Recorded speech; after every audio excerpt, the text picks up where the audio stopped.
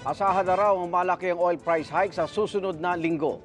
Ayon po sa panayam ng Super Radio DCWB kay Attorney Rino Abad, Direktor ng Oil Industry Management Bureau o ng Energy Department.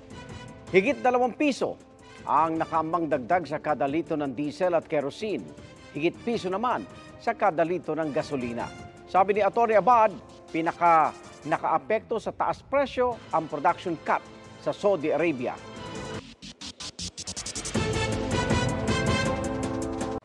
Makaigang saksiyan ng unang pasok ng mga balita. Maaring mapanood ang saksi at ang iba pang GMA Newscast sa youtube.com slash GMA News.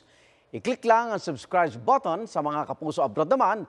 Maaari po kaming masubaybayan sa GMA Pinoy TV at www.gmanews.tv.